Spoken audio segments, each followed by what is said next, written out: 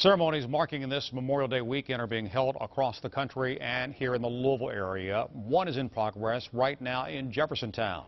WLKY's Corey Pippen is live at J-Town's Veterans Park.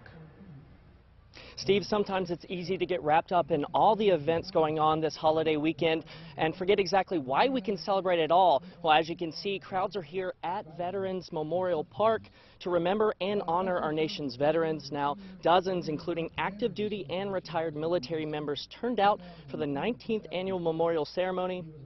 A military choir performed, and a number of key speakers, including Major General Robert S. Silverthorne, Silverthorne Jr., addressed the crowd. Now, many people turned out earlier today and toured the Memorial Park, making a stop at a number of the monuments. That's where we spoke to a retired Marine who served in the Vietnam War and helped set up the event. When you see this service today, you'll see a lot of emotion.